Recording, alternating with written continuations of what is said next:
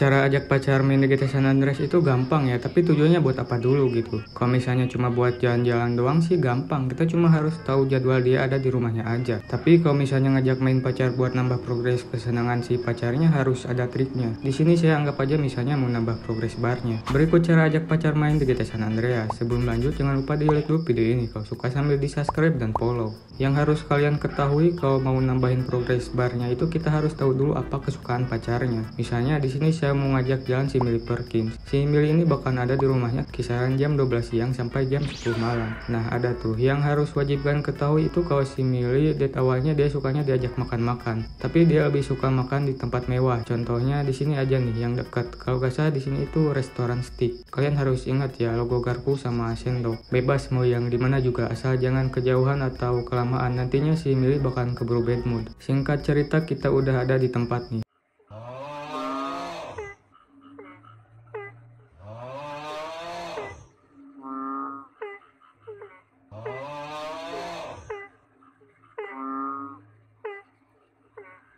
Dan ternyata si Meli suka. Habis ini kita langsung anterin aja pulang ke rumahnya. Karena dari bacaannya dia udah mulai capek. Ciri pacarnya seneng gimana bang? Cirinya itu gampang, tadi kan ada teks di bawahnya.